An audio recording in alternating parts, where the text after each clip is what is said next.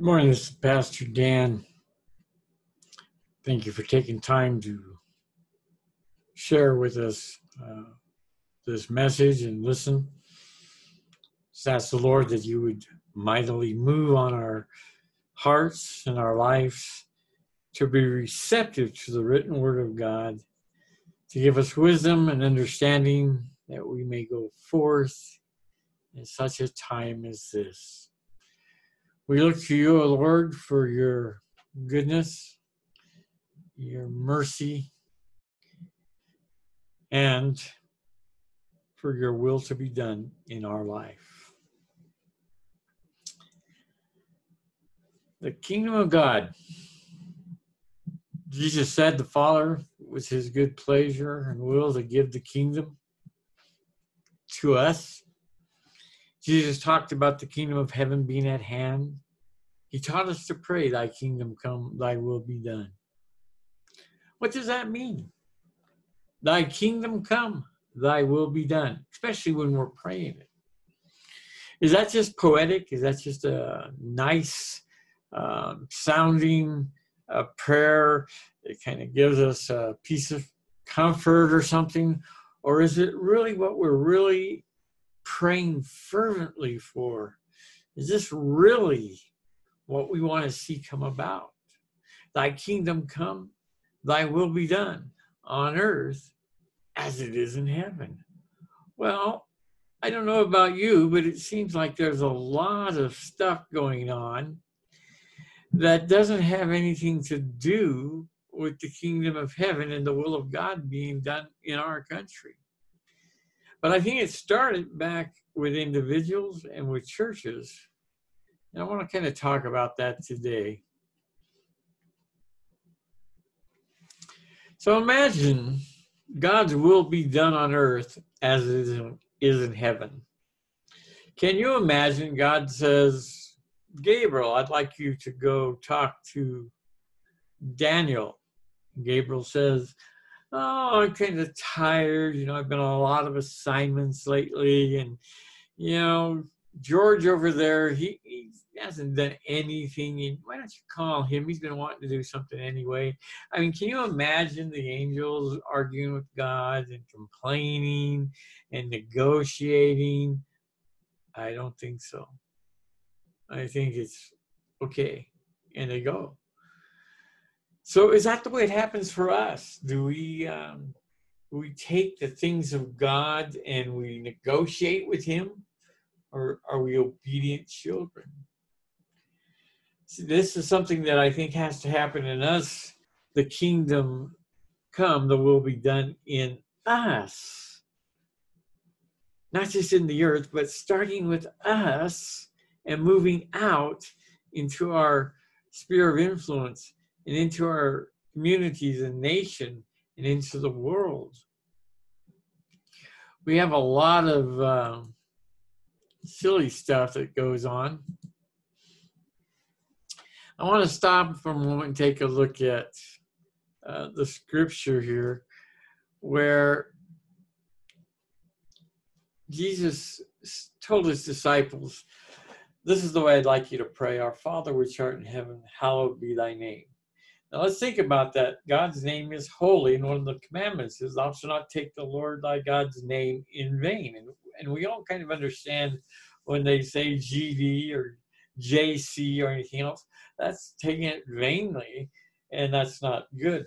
But it's also a warning that you didn't swear by God and, and take it lightly. It, you, it wasn't a vain thing.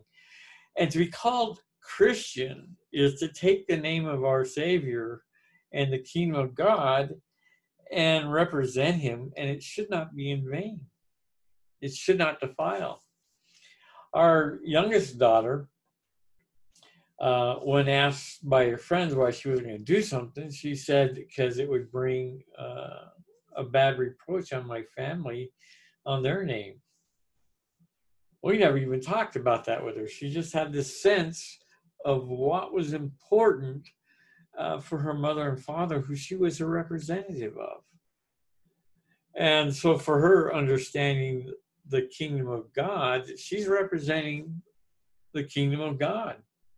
And when David sinned, God said, You've given my enemies a great occasion to uh, blaspheme my name. So it's important for us that if we're going to name ourselves as believers, as Christians, that we then should represent the kingdom of God and his righteousness accordingly and not uh, make his name unworthy and defiled or just a vain thing that's flippantly used. It needs to be taken into full consideration. Are we going to call ourselves Christian? Then we should be doing what the Father's kingdom and his will is all about living in his kingdom and its righteousness 24 7. Thy kingdom come, thy will be done on earth as is heaven. This is our main emphasis. But here's the other part of this prayer give us this day our daily bread. Many people are looking to the government to give them their daily bread. They're looking to everybody else to give them their bread. And yet, God wants us to be relying upon Him. Bread, physical needs, Jesus said, if you seek first the kingdom of God and His righteousness, then all your physical needs the Father will give to you because He knows you have need of them. We don't seek God's kingdom and His righteousness, so we're often uh, impoverished and we have to go seeking, you know, government subsidies or something else.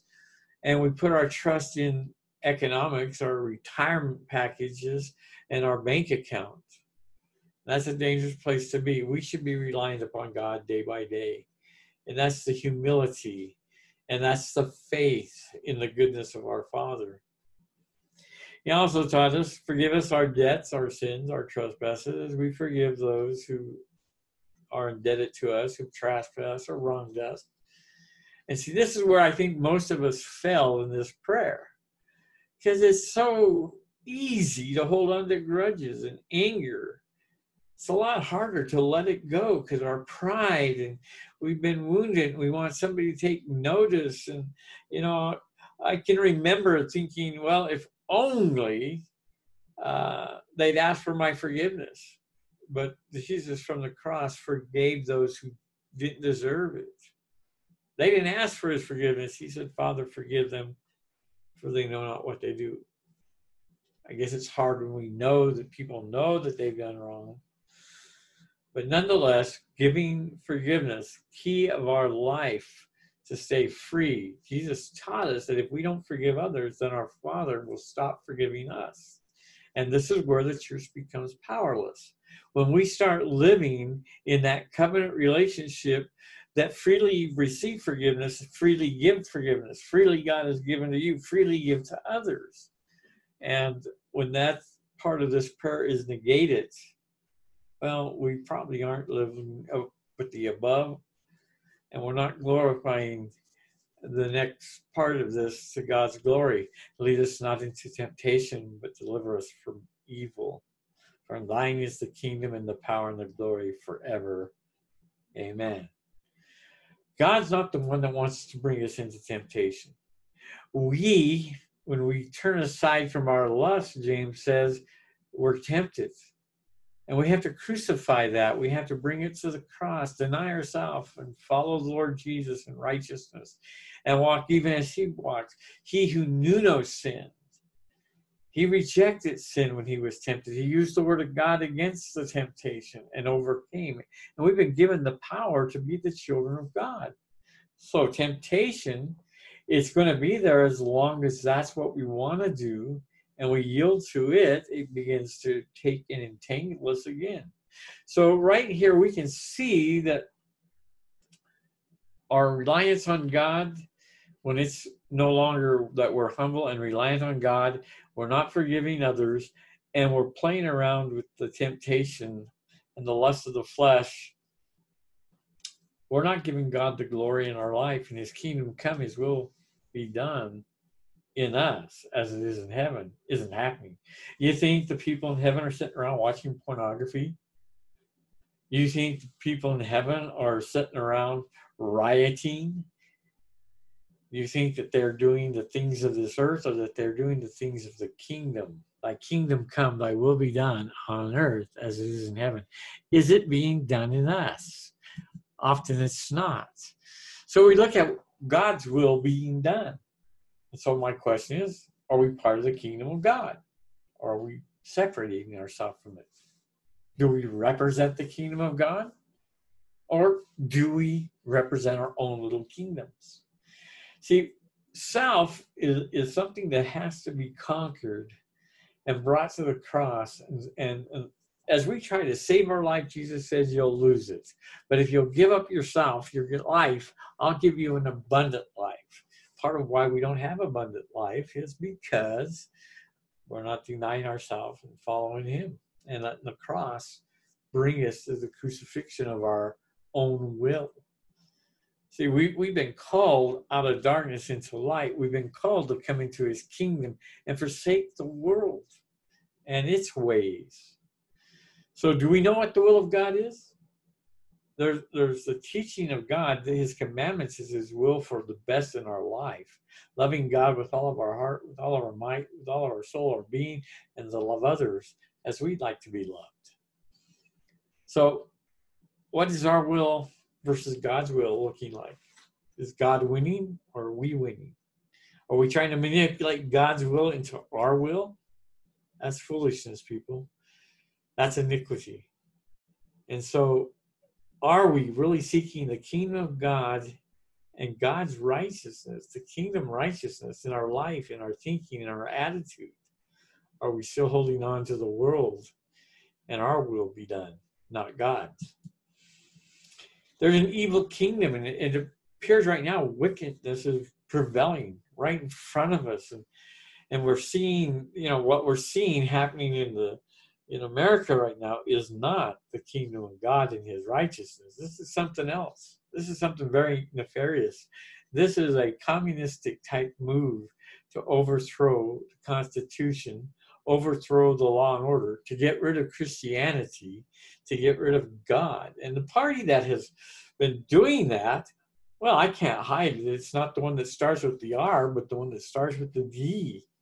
Now, I don't like everything that goes on in the R party, but I definitely look at what they're trying to do in the other party, and they have openly denounced God.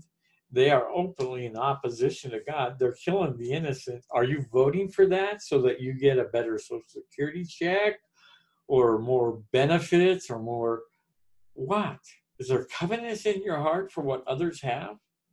And is that why you're you're empowering this kingdom? This is the kingdom of darkness. We are the light. Jesus Christ is the light of the world, and in Him, we're supposed to be a light, a city sitting on a hill that can be seen in dark times and hard times. So, what happens when we do not shine, or we start putting the bush over uh, the light? Remember, the, when God started creation, the Spirit of God began to move, and then He spoke, Let there be light. The Word of God brings light. So, we often don't like the Word of God because it confronts our lust, our sin, our unforgiveness, our bad attitudes. And so we want to try to shift and cover per, parts of the Bible. That's why you hear these false teachers saying the Bible's not relevant today. It's too divisive. Hey, they're just not God's uh, teachers. They're not really of God. They don't want the light. They want to put a bushel over it. They want to hide it. And the same thing with our attitude and our actions and how we go about living in the world. We are the salt of the earth. If we lose our Savior, Jesus said we're no longer good for the earth, and men will throw us out and trot over us. And that's happening. We're seeing that that uh, even the churches and people are trying to appease the world and the movements. We see people yelling, "But I'm on your side." They don't care. Ultimately, the destruction of human life and reducing people from being free and able to choose God will be taken from our land because so many people no longer want God in their life or in their country and they want something for nothing. And the church has become like that. And the church wants to be the friend of the world. And we're going to be overthrown, and you're going to have to, you won't have any light, you won't have any salt. And this nation will be destroyed, and millions of people are going to be murdered and your children and grandchildren are going to be turned into sex slaves because you voted for evil. You've compromised righteousness. Who do we empower and stand with? Well, Pastor, we're not into politics. I, I beg your pardon, but you are involved in politics. This is a nation set up with a government of democracy, of the people, by the people, for the people. And if you are not active in it, making people disciples in the kingdom, we are called to make nations disciples. The nation, we influence. We're supposed to be influencing the nation. We're supposed to be involved in the political process of who we're voting for. We're supposed to be making stands for righteousness, and the churches just throw that up because, well, you know, we want to keep our tax exempt status. You know, don't give us our daily bread, Lord. We'll let the government give us our, our daily bread. So the values of the world become the values of the church. The values of God are often tossed to the side or, you know, given lip service to. So it's the ethics of the world. I did a whole teaching on why politics is so wrapped with ethics and that it's not this name calling and this garbage it's about the ethics that are going on. So the world's ethics they're fluid they change they're good for them but not good for others where the ethics of god are standard for all men. Are we the friends of the world? If we are we're the enemy of god according to the bible. You cannot be a friend of the world and be a friend of God. So, what has happened? We've given up the values of God. We've given up the ethics of God. We've given up friendship with God and became his enemy. And that's why evil is reigning right now in the United States. When the righteous are in authority, the people rejoice. But when a wicked man rules, people groan. Wickedness doesn't make people happy. In every socialist country that ends up becoming a dictatorship. Because if you can't you cannot once once people get what they wanted they find out that's not what they're going to get. And so they're going to keep the power they're going to suppress the people who are agitators provocateurs because they know how to do that and they don't want them rising up against them. So they often eliminate them first and foremost and they got to get rid of the church and they got to get rid of good teachers and they got to restart with a new generation to indoctrinate because they want absolute control. And that's what socialism is designed for to trap people into buying the idea bring it into a communistic dictatorship. He that justifies the wicked and he that condemns the just even they both are an abomination to the Lord. Are you justifying wickedness? Many people in the church are justifying wickedness. Oh, it's okay to burn because Black life matters more than property. Since when? Oh, I guess so. So we can destroy people's property. We can kill other people, even if they're black, as long as it's not the police doing it. He that condemns the just, well, that's happening. And that's been going on for quite some time in our country, and many people have voted for the people that want to do that. They're both an abomination to God. In other words, these people that do this and those that empower make God sick. They're detestable beings. There are six things that God hates. The seventh one is that is, is an abomination and is detestable to him haughty eyes. Oh, that proud look. I've seen uh, rioters in the face of cops, and you look at their eyes, and you know they're more demonic than human. And they look down on everybody else, and they see themselves as being the great savior of mankind and the great equalizers. They have a lying tongue. When we empower lies and begin to let lies take out, and we start speaking the same mantra, and the same narrative, God hates that. Hands that shed innocent blood. How many of you voted for the party that murders babies? You're shedding innocent blood. In the story, you are shedding innocent blood. You think God's going to take and reward you for that? Is that the kingdom come, thy will be done on earth as it is in heaven? Are they aborting innocent babies? It's amazing that people buy into the lie and think they're still serving God. You're deceived. a heart that devises wicked schemes. We see how our universities have become scheme centers to twist the minds and hearts of the young people. This is nothing more than the evil one using all these wicked schemes, claiming they're good when they are in fact wicked. Feet that are quick to rush into evil. See how quickly the people went from a, a protest into doing evil? And are we supporting that? If you're voting for the party that stands back and says, yeah, let it happen, you are part of the problem. You're not part of the kingdom of God. You're deceived. Repent. Repent and align yourself with the kingdom of God and his values. His kingdom come, his will be done on earth as it is in heaven. Even though one party over the other have flawed means, look at the politics. Where are you heading? You want communistic, godless rule, or do you want the constitutional rule that believes that all men were created by God and created equal? You're either on one side or the other. There's no middle ground anymore that you can even look at. God's against false witnesses who pours out lie. If you accept the lies and you spout the lies and you share the lies, you march with the lies, you vote with the lies, you, God hates you. Sorry, He hates you. And what is detestable to God? A person who stirs up conflict in the community. Oh my gosh. And we're seeing people complicit to it.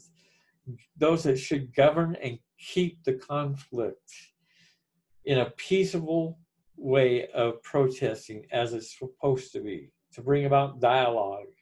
But look at the vulgarity and the hate and the conflict that's coming out. That's an abomination to God. If you're voting for that, you're standing with that, you're an abomination to God. You're not part of the kingdom of God, you're part of Satan's kingdom. I want you to get it because I have to stand accountable as a watchman.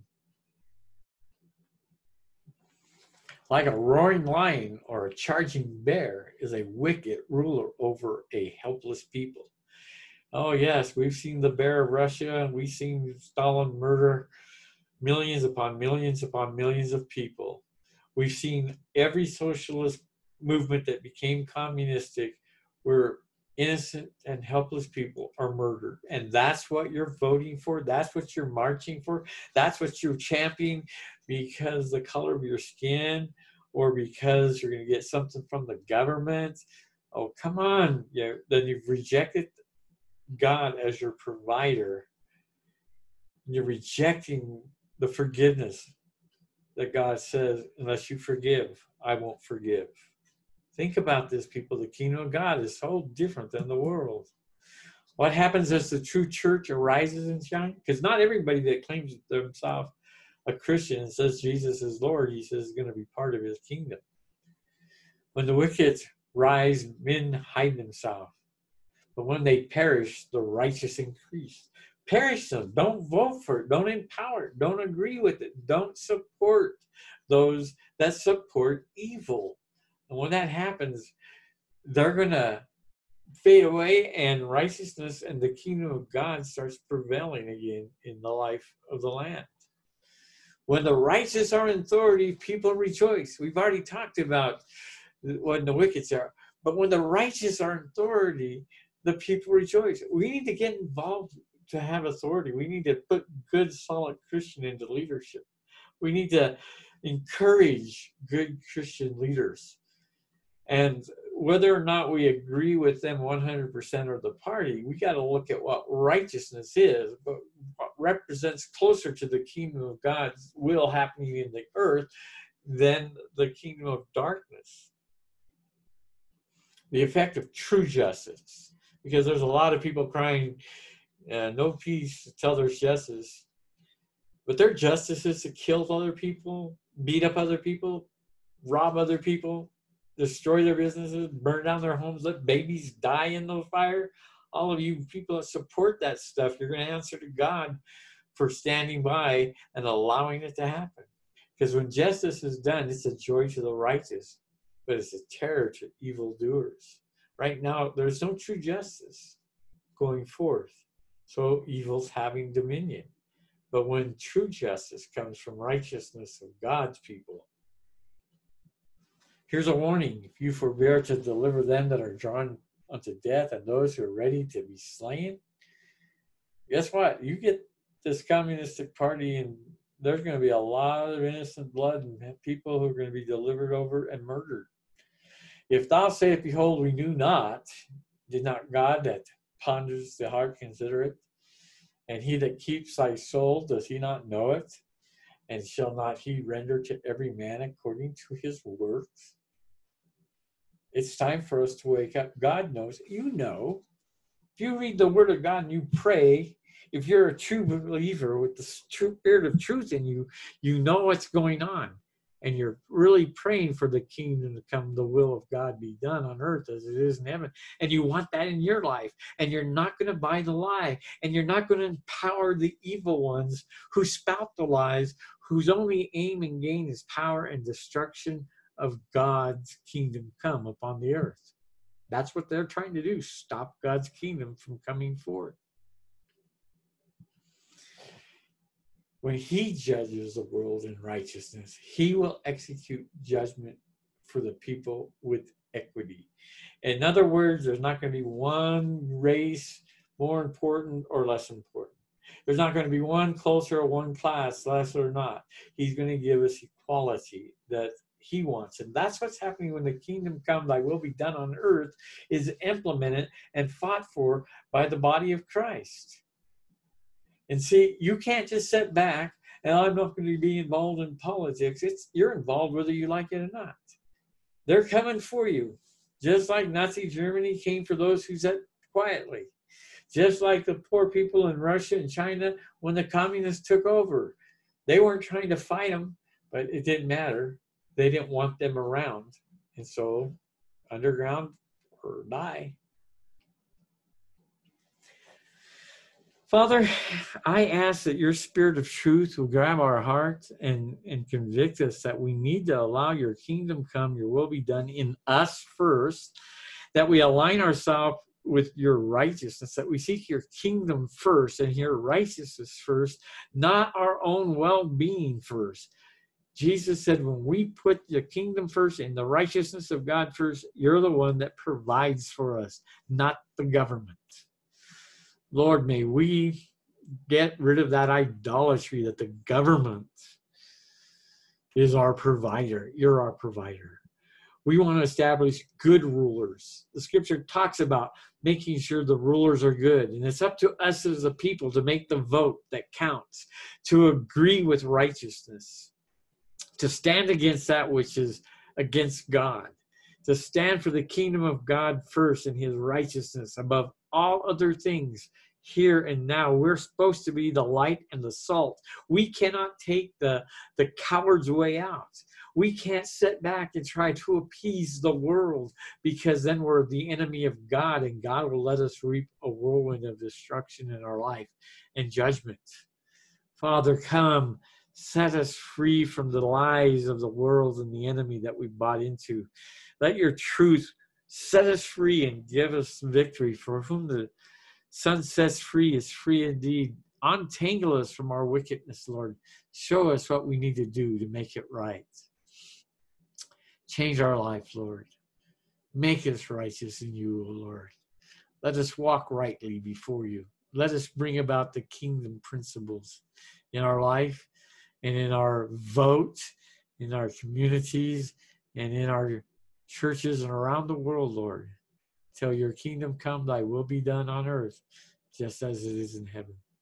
Forgive us, Lord, for just giving you lip service and not being active, being involved in making disciples of all nations, especially in our own, Lord. We've stopped making disciples who understand who you are, understand your will, and want righteousness we've completely failed that mandate.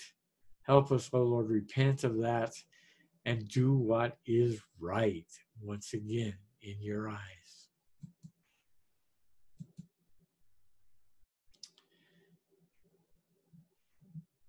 Well, this is Pastor Dan wishing you and yours a very good day. And we ask now the Lord's blessings to continue upon you this week and every week uh, to come. We pray that you find the kingdom of God as part of your life. In Jesus' name, amen.